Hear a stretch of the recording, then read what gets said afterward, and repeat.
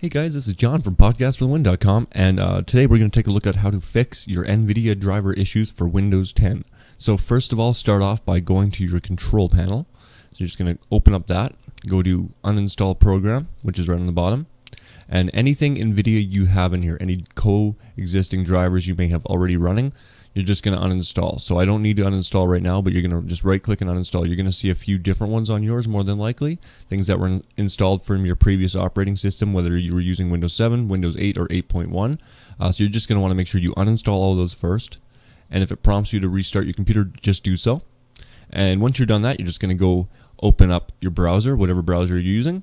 Uh, you're going to go right to the NVIDIA drivers page. I will leave the link in the description and you're going to click on GeForce Experience automatically keeps your drivers up to date and your games optimized.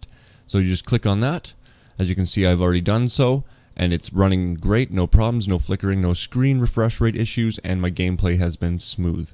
So that's all it is. It's a really easy fix, and it should be up to date. These are all new beta drivers. Uh, in some cases, these are actually been around for about a week now. So just give it a try, and if you have any problems, just leave me a comment below. Uh, give me a thumbs up. Uh, thanks for watching.